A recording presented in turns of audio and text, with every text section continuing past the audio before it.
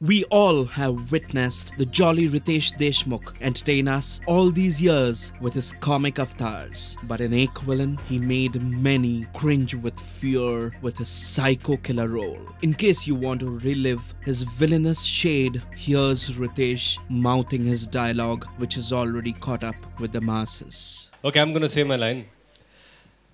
फिक्र मत कीजिए मैडम आज के बाद आपको शिकायत का मौका नहीं मिलेगा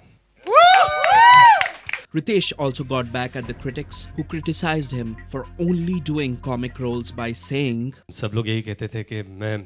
सिर्फ कॉमेडीज क्यों करता हूँ उन सब से मैं सिर्फ यही कहना चाहूँगा कि आज के बाद आपको शिकायत का मौका नहीं The actor not only seemed too happy but also humbled by the praises showered on him. Riteish, uh, मतलब ऐसा लग रहा है कि इस फिल्म के बाद uh, फिल्म इंडस्ट्री का number one villain Ritesh Deshmukh की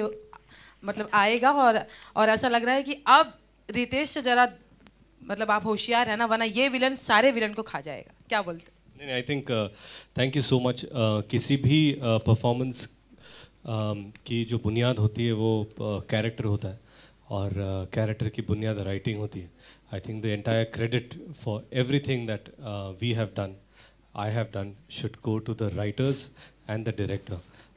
और कोई भी एक्टर राइटिंग से ऊपर उठकर काम नहीं कर सकता जब तक राइटिंग और डायरेक्टर का साथ हो। So if you have appreciated what I have done thank you so much that's all I can say right now So, friends, did you also love Ritesh's villainous performance in Ek Villain?